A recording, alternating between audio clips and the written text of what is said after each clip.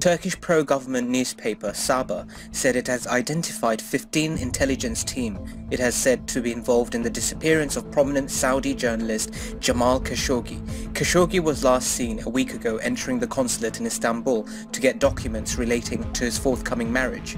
His fiancée waited outside said he never emerged and Turkish sources said they believe Khashoggi, a prominent critic of Saudi policies, was killed inside the mission.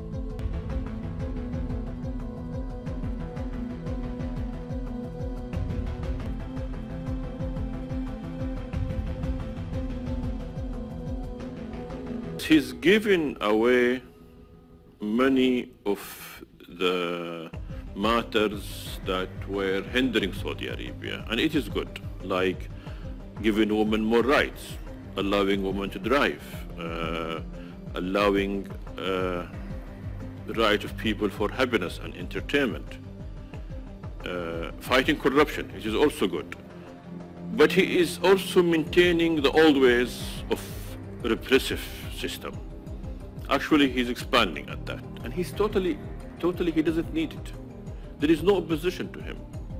I just don't understand why does he have to go this harsh method or harsh ways of uh, previous Arab leaders when he doesn't have an opposition. Really, the people whom he's arresting are not an opposition.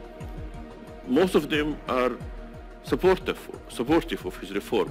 Few uh, traditional will oppose to women driving and women's rights, but I would say 95% of the people who he arrested in September are reformist.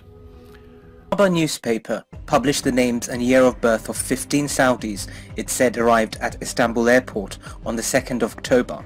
12 of them arrived early on Tuesday, based on photos captured at passport control, which it published.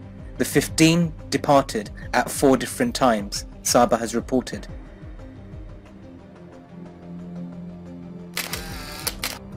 Mishal Saad al-Bostani, born 1987.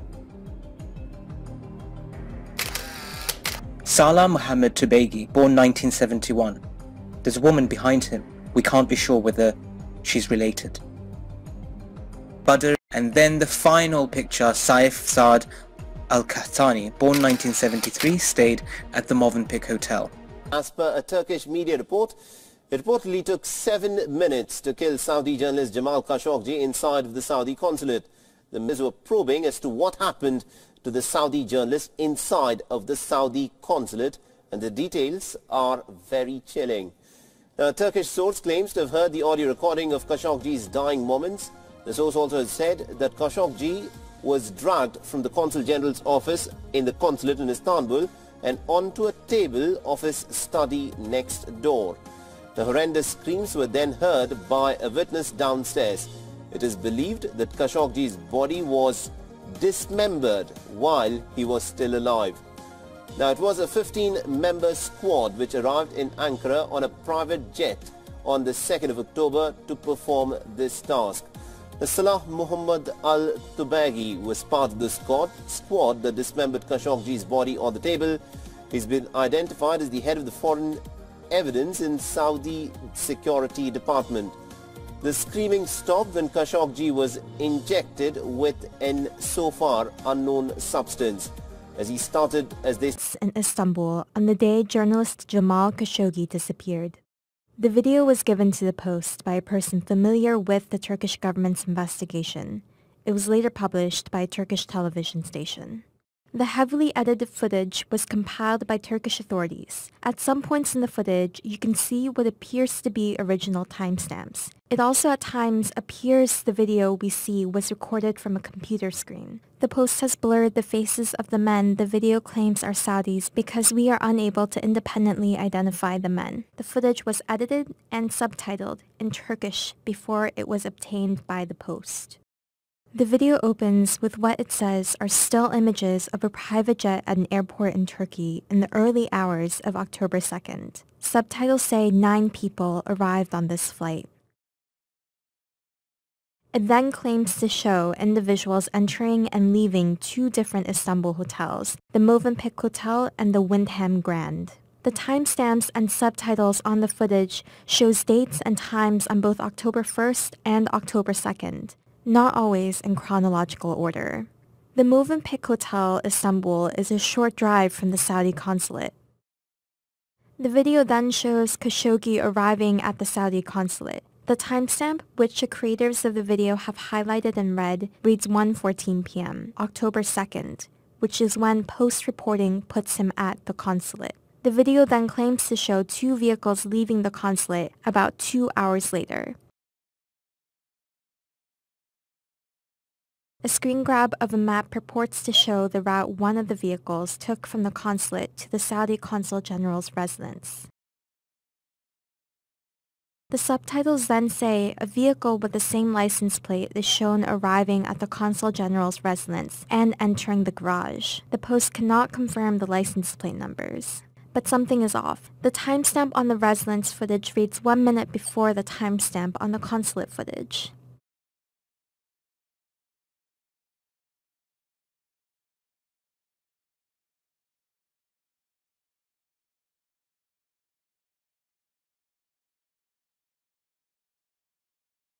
Next scene claims to show Khashoggi's fiancée in front of the consulate at 5.33 p.m. The video jumps forward in time, claiming to show the Saudi men leaving a hotel between 7.57 p.m. and 8.11 p.m. on October 2nd. Still images of a runway with planes circled are said to show two private jets leaving the airport around 5.40 p.m. and 9 p.m. on October 2nd. The video claims 13 individuals departed on these flights, six in one group and seven in the second. Saudi officials did not respond to requests for comment.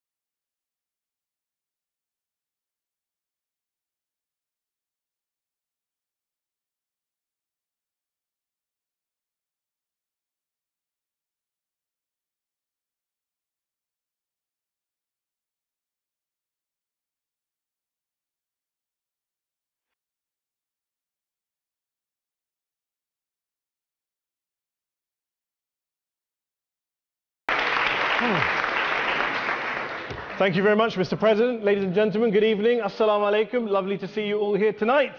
We are having a very entertaining night, are we not, with some very interesting things being said. Uh, from the other side of the house tonight, um, let me begin by saying, as a Muslim, as a representative of Islam, I would consider myself an ambassador for Islam, a believer in Islam, a follower of Islam and its Prophet.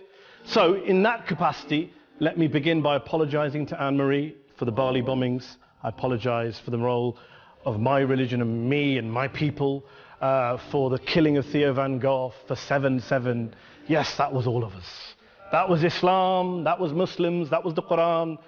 I mean, astonishing, astonishing claims uh, to make in the very first speech on a day like today, where the Conservative Prime Minister of the United Kingdom is having to come out and point out that these kind of views are anathema. And I believe you're trying to stand for the Labour Party to become an MP in Brighton. If you do, uh, and you make these comments, I'm guessing you'll have the whip withdrawn from you, but then again, UKIP's on the rise. They'll take you, the BNP. They might have uh, something to say about your views. This is what Mehdi Hasan always says. By the way, by the way, by the way, by the way, by the way, just on a factual point, since we heard a lot about the second speaker about how backward we Muslims all are, on a factual point, you said that Islam was born in Saudi Arabia. Islam was born in 610 AD. Saudi Arabia was born in 1932 AD. So you were only 1,322 years off. Not bad? Not bad start there. Uh, talking of maths, by the way, a man named Al-Khawarizmi was one of the greatest mathematicians of all time, a Muslim, worked in the golden age of Islam. He's the guy who came up with not just algebra, but algorithms. Without algorithms, you wouldn't have laptops. Without laptops, Daniel Johnson tonight wouldn't have been able to print out his speech in which he came to berate us Muslims for holding back the advance and intellectual achievements of the West, which all happened without any contribution from anyone else other than the Judeo-Christian people of Europe. In fact, Daniel David Levering, the author of the Pulitzer Prize winning historian and author of The Golden Crucible, points out that there would be no Renaissance, there would be no Reformation in Europe without the role played by Ibn Sina and Ibn Rushd and some of the great Muslim theologians, philosophers, scientists in bringing Greek texts to Europe. As for this being our university, I will leave that to the imagination as to who is our and who is there. Uh, I studied here too. Um, an astonishing, astonishing set of uh, speeches so far making this case tonight. Uh, a mixture of just cherry-picked quotes, facts and figures, self-serving, selective, a farrago of distortions, misrepresentations, misinterpretations, misquotations.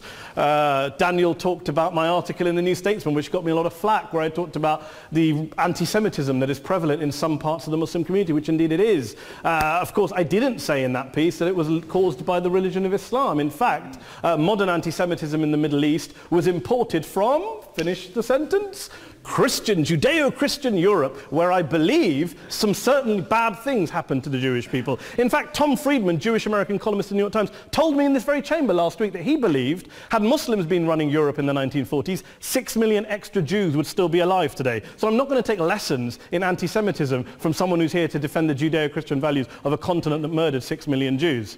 Uh, moving swiftly on. Moving swiftly on. Yes.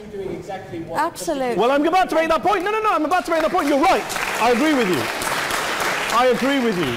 I agree with you 110%. That is my point. I don't think Europe is evil or bad. I'm a very proud European. I don't want to judge Europe on that basis, but if we're going to play this gutter game where we pull out the Bali bombing and we pull out examples of anti-Semitism in the Islamic community, then of course I'm going to come back and say, well, hold on. I mean, look, let's be very clear. Daniel here was a last-minute replacement for Douglas Murray, who had to pull out. And Douglas and I have a well-documented differences, but to be fair to Douglas, as to be fair to Anne-Marie and to Peter, atheists. Atheists see all religions as evil, violent, threatening. What the problem I have with Daniel's speech is that Daniel comes here to run this robust defense of Christianity forgetting that his fellow Christians, people who said they were acting in the name of Jesus, gave us the Crusades, the Spanish Inquisition, the anti-Jewish pogroms, European colonialism in Africa and Asia, the Lord's Resistance Army in Uganda, not to mention countless arson and bomb attacks on abortion clinics in the United States of America to this very day. I would like a little bit of humility from Daniel first before he begins lecturing other communities and other faiths on violence, terror and intolerance. But, no thank you some water. some water. But I would say this, to address the gentleman's very valid point here, I'm not going to play that game. I don't actually believe that Christianity is a religion of violence and hate because of what the LRA does in Uganda or what, uh, what crusaders did uh, to Jews and Muslims in Jerusalem when they took back the city in the 12th or 13th or whatever century it was.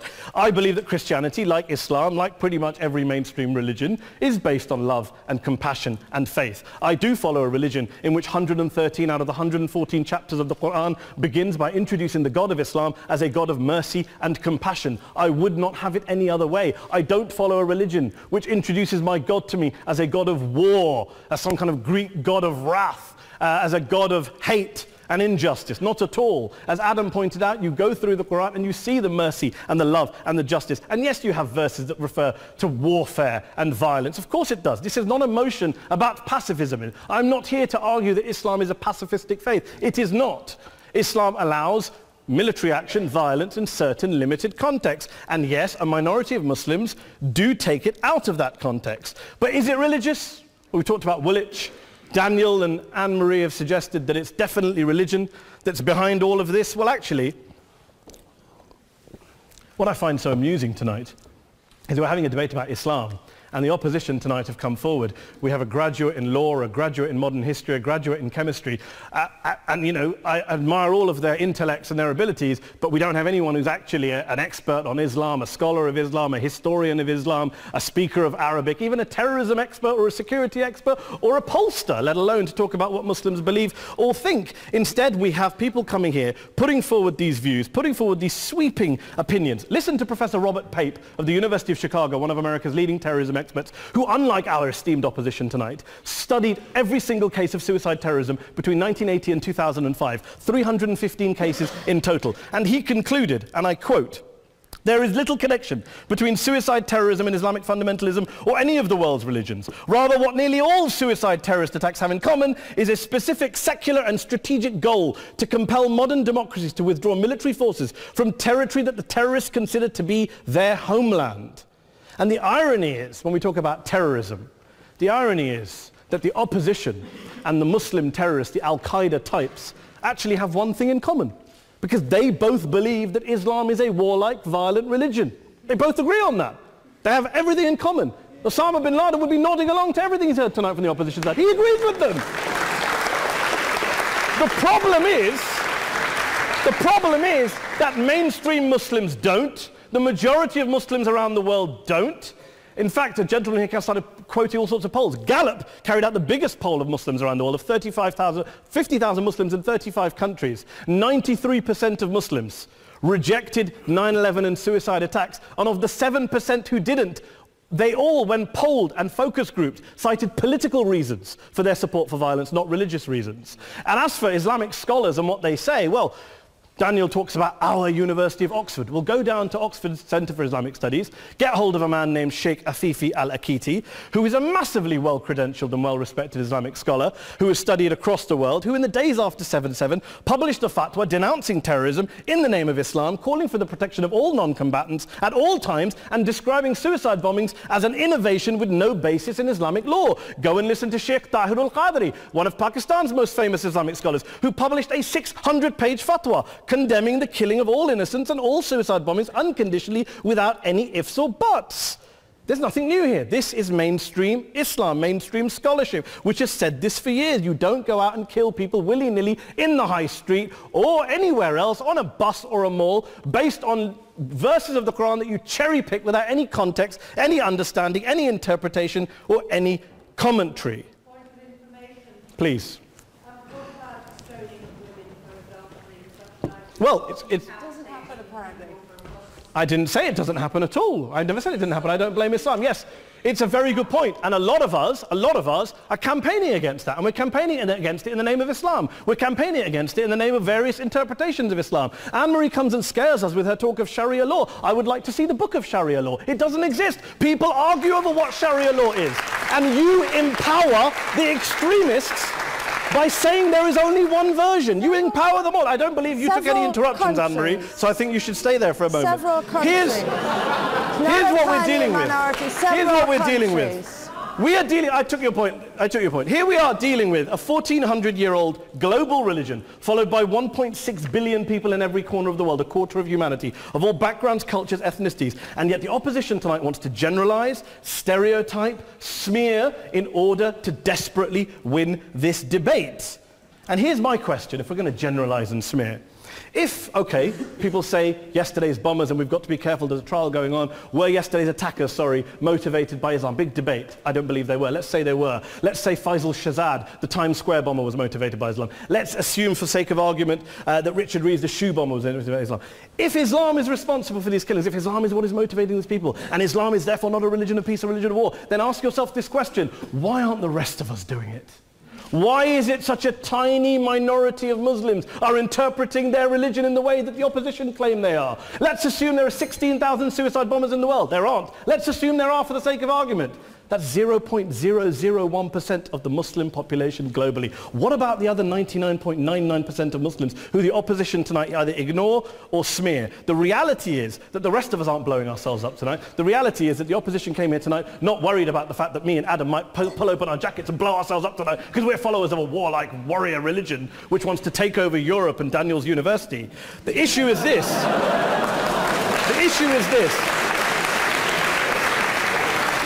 unless the opposition can tell us tonight, and Peter Atkins is here, one of our great atheist intellectuals, can tell us tonight, can they can answer this question tonight, why don't the vast majority of Muslims around the world behave as violently and aggressively as a tiny minority of politically motivated extremists? Then they might as well give up and stop pretending they have anything relevant to say about Islam or Muslims as a whole. Ladies and gentlemen, let me just say this to you. Think about what the opposite of this motion is. If you vote no tonight, think about what you're saying the opposite motion is. That Islam isn't a religion of peace. It's a religion of war, of violence, of terror, of aggression. That the people who follow Islam, me, my wife, my retired parents, my six-year-old child, that 1.8 million of your fellow British residents and citizens, that 1.6 billion people across the world, your fellow human beings, are all followers promoters, believers in a religion of violence. Do you really think that? Do you really believe that to be the case? They say that in the Oxford Union, the most famous debate was in 1933 when Adolf Hitler looked out for the result of the King and Country motion, where they voted against fighting for King and Country, and Hitler was listening out for the result. Well, tonight, 80 years on, there are two groups of people around the world who I would argue are waiting for the result of tonight's vote. There are the millions of peaceful, non-violent, law-abiding Muslims both in the UK, Europe, Asia, Africa and beyond, who see Islam as the source of their identity, as a source of spiritual fulfillment, of hope, of solace. And there are the phobes, the haters, the bigots out there who want to push the clash of civilizations, who want to divide all of us into them and us and ours and their.